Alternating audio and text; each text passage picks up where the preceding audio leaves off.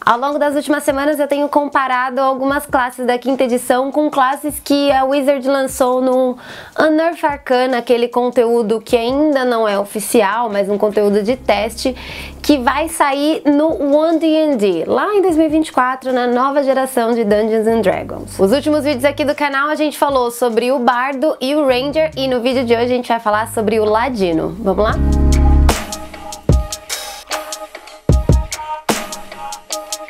Sou a Débora, seja muito bem-vindo ao canal. Se você chegou agora e não está familiarizado com o que é o D&D, o que está acontecendo, onde é que eu tô, tem vídeos aqui nos cards só falando sobre o One D&D, o que que é, qual é esse projeto, como que funciona, quais as diferenças que tem até agora da quinta edição para o D&D, quais são as propostas novas e nos últimos vídeos eu tenho comparado algumas classes e subclasses que eles lançaram no segundo Unearth Arcana e hoje a gente vai continuar comparando as classes, vai comparar o Ladino. Assim como nos outros vídeos de comparação das subclasses, esse aqui vai ser um conjunto com um vídeo que já tem aqui no canal, falando tudo certinho, minúcias assim ó, tintim por tintim do Rogue, do Ladino e de todas as suas subclasses. E esses vídeos também vão estar aqui nos cards para você assistir e entender melhor cada habilidade. Porque no vídeo de hoje eu não vou ficar falando tanto sobre o Ladino da quinta edição. Eu vou focar no quais são as habilidades do One D&D. Se forem igual, tudo bem, mas o que for diferente eu vou focar no One D&D e não na quinta edição, tá bom? No segundo Unearth Arcana, ou nesse conteúdo não oficial que a Wizard lançou, além da classe base do Ladino, ela também lançou a classe Ladrão, ou Thief. E a gente também vai comparar essa subclasse nesse vídeo, tá? A primeira diferença que a gente pode ver entre o Ladino da quinta edição e do D&D estão nas suas proficiências de armas. Todas as outras coisas de saving throw, teste de resistência, armadura, perícias, tudo tá igual. Mas nas armas tem uma pequena diferença. O Ladino da quinta edição tinha proficiência em armas simples, espadas longas e curtas, crossbows, o que eram muito utilizado, muito clássico do Ladino, e também rapieiras. Só que na One D&D não vai ser assim. Ah, houve uma mudança nas armas que o Ladino pode usar. Arma simples continua sendo proficiente porque são armas mais básicas, então assim, não tem muito segredo para usar as armas simples, ele continua podendo usar tranquilamente. Mas no que ele era proficiente de armas mais especiais, digamos assim, as armas marciais, vai ter uma modificação. No D&D, o Ladino vai ser proficiente somente com armas marciais que tiverem a propriedade de finesse. Se você não sabe o que é essa propriedade, eu também tenho um vídeo aqui no canal só falando sobre armas e essas características delas e vão estar aqui nos cards mas por cima, assim, só para dar um geral, finesse são armas que você pode jogar ou utilizar a sua destreza ao invés da sua força para poder atacar e dar dano com ela. E elas vão ser a limitação do ladino, só pode armas de finesse. Quais armas marciais tem finesse? Espadas curtas, rapieiras, que não muda do ladino da quinta edição, mas também chicote e cimitarra. Isso quer dizer que o ladino perdeu a sua proficiência em hand crossbow ou bestas de mão e não pode mais atirar com bestas de mão? É, significa. Isso quer dizer que o ladino não tem mais nenhuma opção de ataque à distância com alguma arma? Calma, ele ainda tem opção, porque dentro das armas simples ainda tem opções de bestas e de arcos curtos ou bestas leves. A diferença é que agora ele vai ter que atacar com as duas mãos, né? Porque são armas que utilizam as duas mãos para serem operadas. E o hand crossbow ou a besta de mão era uma mão só, mas assim, é um efeito mecânico talvez meio hum, que algumas pessoas talvez não gostem, talvez, mas é isso, né? A gente tem que se adaptar às coisas novas. Falando sobre a progressão de classe do Ladino no primeiro nível, assim como na quinta edição, ele vai continuar ganhando Expertise, que é aquela habilidade que dobra a proficiência em uma perícia que você já é proficiente. Ele também vai ganhar Thieves Cant, só que a diferença do Thieves Cant da quinta edição é que no D&D, além da linguagem lá de Ladino, né, que é o próprio Thieves Cant, você pode escolher um idioma a mais também. Então, meio que te dá dois idiomas, o Thieves Cant mais algum que você queira. E ele também continua recebendo o Sneak Attack. Lembrando que o Sneak Attack acontece toda vez que você ataca com uma arma de finesse ou a distância e que também tem algumas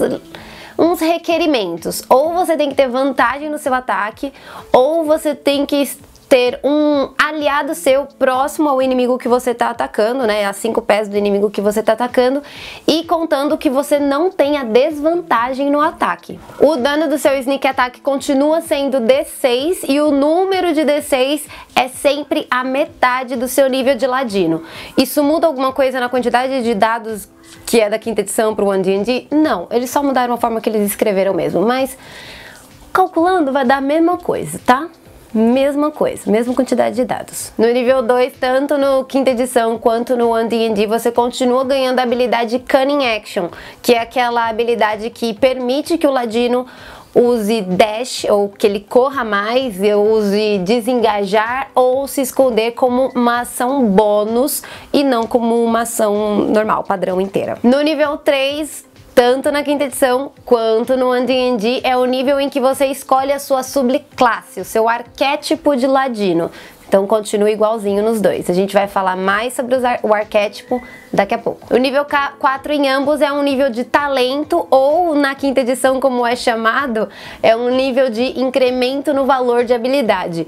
Lembrando que no One D&D você também pode aumentar uma habilidade, mas isso se transformou em um talento chamado incremento no valor de habilidade. Então, é um nível que em ambos fazem a mesma coisa, eles só mudaram o nome. No nível 5, tanto na quinta edição quanto no One D&D, você continua tendo a habilidade Uncanny Dodge e ela não mudou. Essa habilidade faz com que quando você é atacado por um inimigo que você possa ver, isso é importante, porque né? É a limitação da habilidade. Você tem que ver o inimigo te atacando. Você pode usar a sua reação para tomar só metade do dano. A habilidade não mudou, continua a mesma coisa, mesmo nome em ambas as edições. No nível 6 da quinta edição você ganhava mais uma expertise e no D&D é um nível que você vai ganhar a habilidade do seu arquétipo, do seu subclasse que você escolheu e a gente vai falar dela daqui a pouco. No nível 7 da quinta edição você ganhava a habilidade Evasion, mas no D&D D&D você vai ganhar Expertise e Evasion ficou para níveis mais altos. Eu vou falar dessa habilidade específica daqui a pouco também. No nível 8, mais um nível de incremento no valor de habilidade ou de talento igual. No nível 9 da quinta edição você ganhava uma habilidade da sua subclasse, era habilidade de arquétipo. E no One D&D, aí sim você ganha Evasion. Oi, essa é a Débora, editora do vídeo, que acabou de perceber que falou a habilidade completamente errada.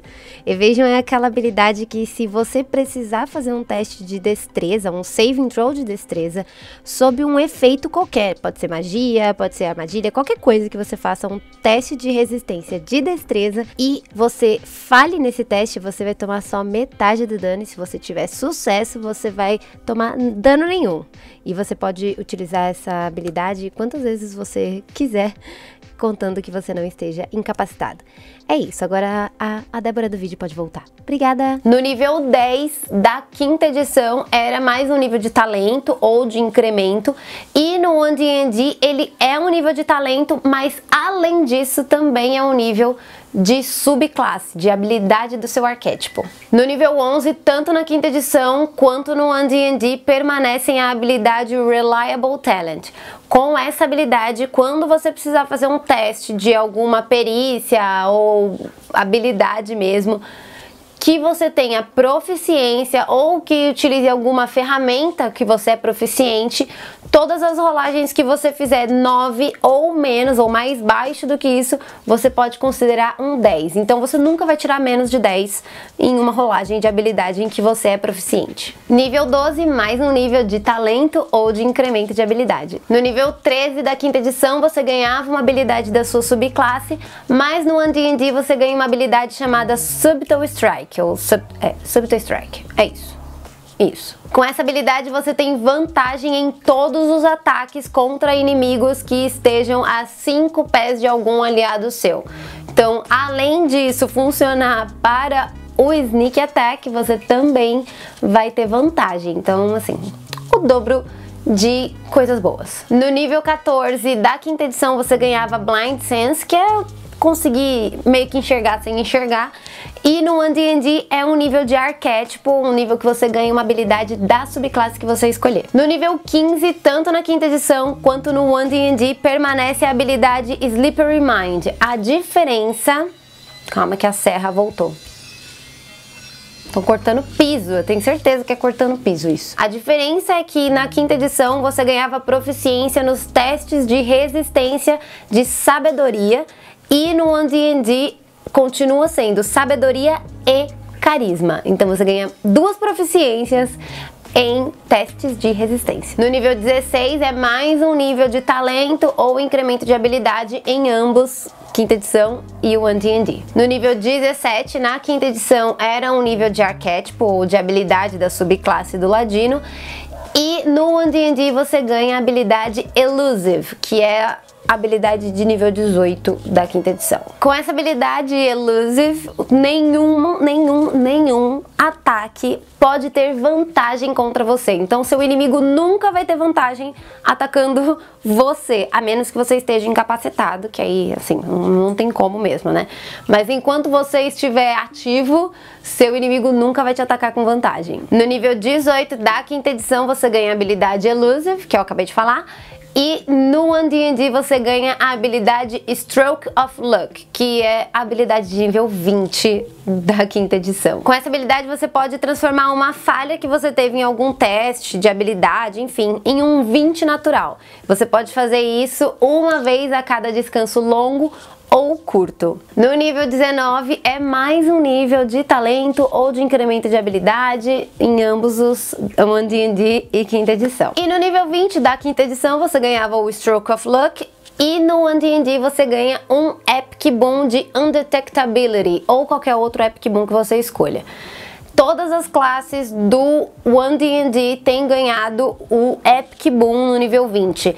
É tipo um talento somente de nível 20, assim, muito especial, épico, como diz o nome, né?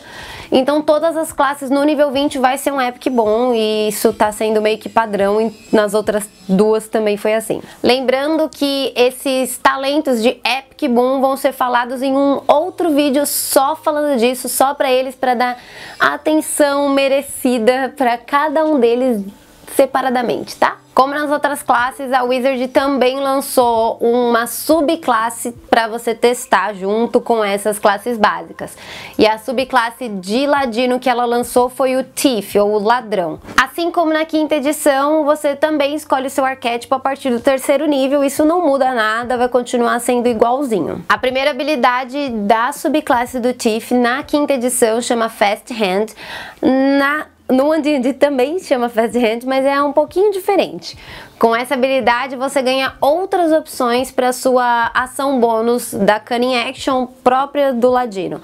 Ao invés de só correr, desengajar e se esconder, você pode fazer um teste, isso tanto na quinta edição quanto no D&D. Você pode fazer um teste de Sleight of Hand, ou em português é prestidigitação. É sério, quem, quem que chama esse teste de prestígio. Não consigo nem falar. Nem falar. Sério. Que palavra é essa, gente?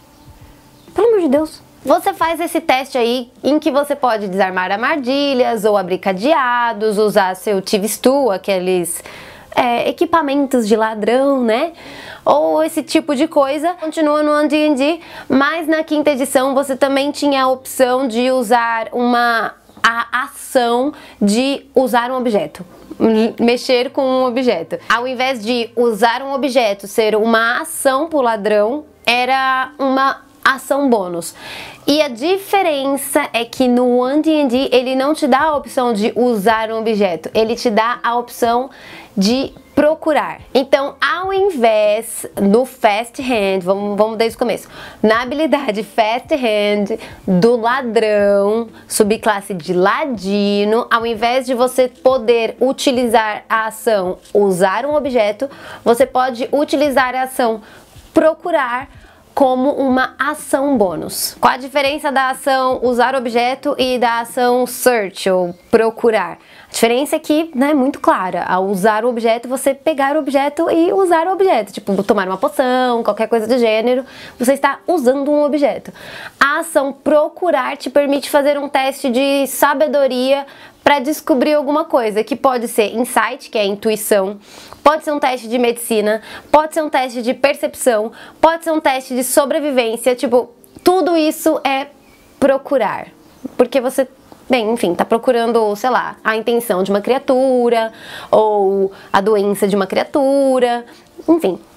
Tudo isso serve como uma ação de procurar eu achei bem legal. A próxima habilidade do ladrão do One D&D acontece no nível 6, que não tinha nada na quinta edição, porque não era um nível para isso, mas essa habilidade vai ser o Supreme Sneak. Com essa habilidade você sempre vai ter vantagem nos testes de furtividade se você não estiver utilizando armaduras médias ou pesadas. Então, enquanto você estiver utilizando armaduras leves ou sem armadura nenhuma, o que é muito difícil, mas se você quiser você sempre vai ter vantagem nos testes de furtividade, sempre. Essa habilidade era a habilidade de nível 9 do ladrão do, da quinta edição, é a mesma coisa, no nível 9 ele ganhava o Supreme Sneak e não tem nada na, no D&D porque não é um nível de habilidade subclasse. Mas no nível 10 do D&D você ganha a habilidade, uma habilidade subclasse chamada Use Magic Device.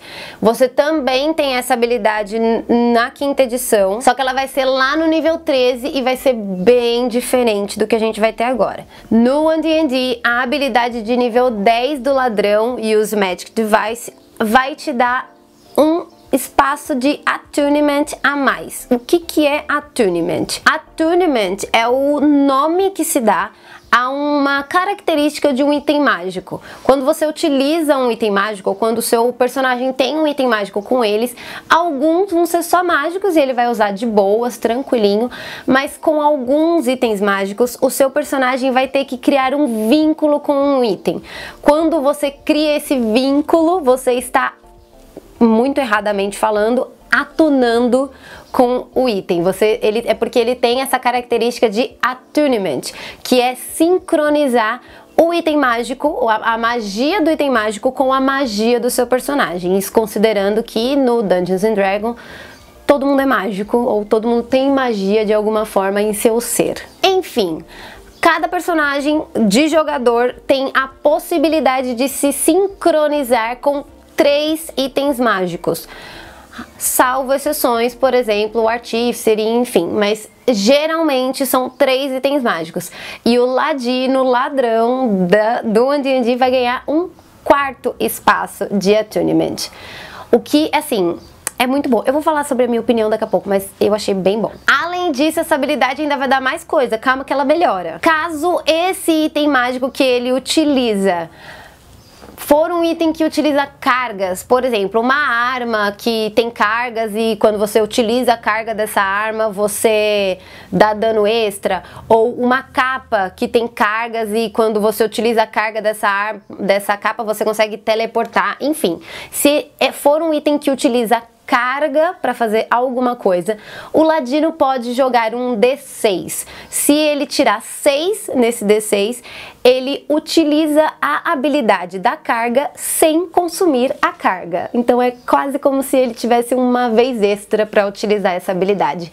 Se ele tem, por exemplo, três cargas e ele vai usar uma, ele tirou seis, ele não consome essa aqui. É como se ele tivesse ganhado de graça uma carga a mais. Além de tudo isso, o ladino também vai poder usar pergaminhos de magia, independente se ele é conjurador ou não. Para você usar um pergaminho, você precisa pelo menos ser uma classe conjuradora. E se você conhece a magia é mais fácil ainda, você não tem chance de dar errado, enfim, várias coisinhas. Mas o ladino vai poder conjurar sim através de pergaminhos de nível 0, ou seja, pergaminhos de cantrip, de truques, ou de nível 1 um, normalmente. E se ele quiser usar pergaminhos de nível mais alto, ele ainda pode tentar usar sim o pergaminho sem problema nenhum, quer dizer, com problema, porque ele vai ter que fazer um teste de arcanismo com uma dificuldade de 10 mais o nível da magia, da magia que ele quiser utilizar. Se ele passar no teste, ele consegue utilizar até um pergaminho de nível 9 se ele quiser. Agora, se ele falhar, o pergaminho é desintegrado e aí, tipo, não funcionou a magia e perdeu o pergaminho também. Acontece, né? Mas eu achei boa de qualquer forma a habilidade. Essa habilidade Use Magic Device na quinta edição aparece lá no nível 13 pro ladrão, que é também uma habilidade do ladrão no nível 13, que não tem nada no D&D ela aparece com o mesmo nome e uma funcionalidade completamente diferente. Na habilidade da quinta edição, o ladrão simplesmente pode ignorar qualquer limitação de raça e classe para utilizar algum item mágico, mas ela não fala nada sobre pergaminhos, por exemplo. E também não tem nada de espaços a mais de attunement ou de sincronização. Então é completamente, completamente diferente. No nível 14 do One D&D, ele ganha a habilidade Thief's Reflex. Com essa habilidade, ele vai poder ter uma ação bônus a mais, contando que com essa ação bônus adicional, ele utilize alguma coisa que seja algum efeito do cunning action, ou seja, correr, desengajar, se esconder, ou como ele pode fazer nessa mesma subclasse, fazer um teste de procurar ou mexer com algum, algum objeto com o seu TV Stool, enfim. Tem que ser alguma coisa do gênero. Mas ele pode ganhar uma segunda ação bônus em um número de vezes igual à sua proficiência. Então, se no nível 14 você tem mais 5 de proficiência, você vai poder escolher 5 turnos do combate para ter duas ações bônus. Então, enfim, é bastante turno no combate, às vezes não dura nem isso, dependendo da situação. Essa habilidade Thief Reflex vai aparecer na quinta edição no nível 17. Então, ela é a última habilidade do ladrão da quinta edição. Não tem nada nesse nível no D&D, porque né, já foi. Mas na quinta edição, a Thief Reflex vai ser extremamente diferente da do D&D. Na quinta edição, você ganha dois turnos na primeira rodada do combate. Então, digamos, começou o combate, o seu turno é no, na iniciativa 21, ok? Beleza, você teve a sua ação na, na, iniciativa 21. Quando chegar na iniciativa 11, você pode ter uma ação de novo. Acabou essa rodada, segue o jogo normal, você não tem mais habilidade, porque essa habilidade é uma vez só, só na primeira rodada do combate. Eu achei que as mudanças do Ladino foram bem sutis comparado à mudança, por exemplo, do Ranger ou do próprio Bardo, que tiveram mudanças bem diferentes. No Ladino eu não senti uma mudança muito grande na classe base. Claro que ele tem habilidades novas, como a Subto Strike, o Thieves Kent também mudou um pouco, o Slippery Mind também mudou um pouco, mas assim, não foram mudanças, nossa, absurdamente diferentes. Não teve um, oh meu Deus, que mudança Claro que também teve a questão de habilidades aparecerem em níveis diferentes, como teve também no Patrulheiro, né, no Ranger ou no, no Bardo também aconteceu isso. E a grande mudança de nível 20 ser um Epic Boom, isso é meio que padrão, a gente, né, eu não tô mais nem pensando tanto nessas mudanças, porque foi um padrão de todas as classes do D&D até agora, e provavelmente vai continuar sendo para todas as classes que eles forem lançar. Mas em geral eu não achei as mudanças extremamente diferentes.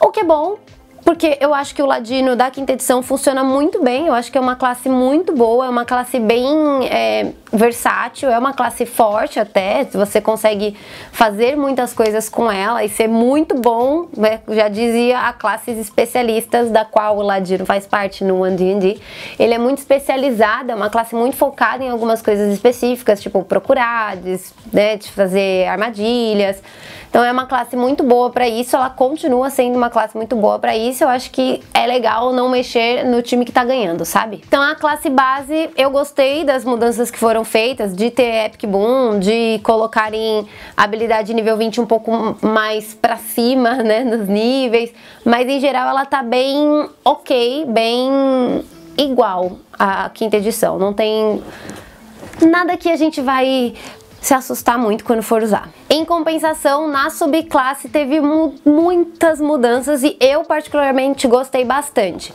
Vou dizer que o ladrão, ou o Thief, não é a minha subclasse preferida de ladino, de longe, assim. Eu sei que ela é a mais popular, é o que o pessoal acaba utilizando mais, porque é uma subclasse muito boa, não é a minha preferida, mas por questões de, sei lá, estilo mesmo, sabe? Eu, eu acho mais legal outros estilos de ladino, outras coisas, porque eu acho que é uma classe que dá para fazer muito roleplay, sabe? É uma classe muito temática. Então, pelo tema, eu gosto de outras subclasses antes do ladrão. Mas eu sei que é uma subclasse que a maioria gosta, é uma subclasse muito. É, simples até, né? A primeira de todas, tanto no, na quinta edição foi a primeira que foi desenvolvida e no D&D também é a primeira, então é uma subclasse bastante famosa e queridinha das pessoas que jogam de ladino. E eu gostei muito, muito, absurdamente, eu gostei muito das mudanças que fizeram, porque eu achei que deu assim, ficou ainda ficou melhor ainda, ficou bem forte. A questão de poder atunar, atunar é muito errado, né, no português. Sincronizar, é isso. A questão de poder sincronizar com um item mágico a mais e até a funcionalidade que ele deu para o ladrão usar itens mágicos diferentes e ter é, a manha de poder usar as habilidades desse item mágico sem gastar carga, se for né, possível, ou poder utilizar é, pergaminhos sem ter o conhecimento arcano, eu achei muito legal e eu achei que combina com a classe. Se você pensar que o ladino, o ladrão especificamente, é um personagem que estaria ali roubando coisas, vendo várias coisas diferentes, porque ele tá roubando é, né, itens de lugares diferenciados e com isso ele acaba dando o seu jeitinho de usar. Mesmo que ele não saiba o que aquilo faz, ele dá o seu jeitinho de usar. E eu achei que isso, nossa, combinou muito. Combinou muito com a subclasse, com a ideia da subclasse e ficou muito mais forte. Eu achei muito mais legal, muito mais diferente do que. Enfim, Achei muito mais legal. A habilidade mudada também do Fast Hand, de ao invés de ser utilizar um objeto para procurar, eu também achei muito útil. Muito, porque é, eu acho que vai ser mais utilizado você procurar, fazer, fazer uma intuição ou um sobrevivência, qualquer coisa do gênero. Eu acho que vai ser mais utilizado, melhor utilizado do que só usar um objeto. Apesar de, sei lá, tomar poção seja bom, enfim. Mas eu acho que a habilidade de procurar vai ser melhor explorada do que a habilidade de usar o objeto, por assim dizer. E o Tiff Reflex também ser modificado para, ao invés de ser dois turnos na primeira rodada, ser várias ação bônus, né? Cinco, no mínimo cinco ações bônus por combate, é, ou na verdade por descanso longo, né? Eu achei bom, achei melhor, achei que dá para aproveitar mais é, tematicamente, assim, você não vai conseguir atacar nessa sua ação bônus a mais, mas eu achei melhor do que ter um turno a mais. Por quê? Porque sim, porque são cinco vezes e o outro era uma vez só. Então, né?